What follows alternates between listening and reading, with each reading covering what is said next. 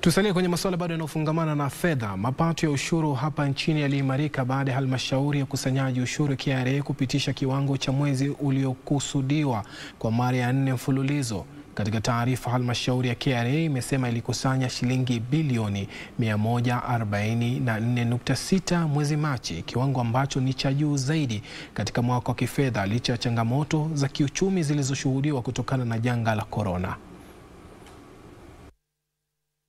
Licha ya changamoto za kiuchumi zilizoshuhudiwa, halmashauri ya ukusanyaji ushuru iliandikisha asilimia 11.2 za mapato ya ushuru na kupitisha kiwango ilichokusudia cha shilingi bilioni 6.6 mwezi Machi mwaka 2021.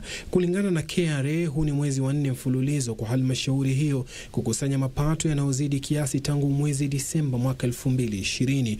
Matokeo hayo ya kuridhisha yakitokana na kuimarishwa kwa mikakati ya ulipaji ushuru na kuboreshwa kwa huduma za utekelezaji juhudi za kufuatilia ulipaji kodi. Idara ya halmashauri hiyo ya forodha na udhibiti wa mipaka imenakili ongezeko la asilimia 47.3 kwa kukusanya shilingi bilioni 60.751 ambacho ni kiwango cha pili cha juu zaidi kuwahi kukusanywa na halmashauri hiyo.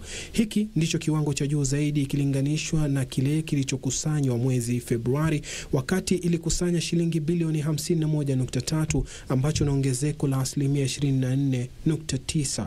Kodi ya waajiriwa iliandikisha asilimia 100.7 baada ya kukusanya shilingi bilioni 34.595, kiwango ambacho kimezidi kwa shilingi bilioni 3.339.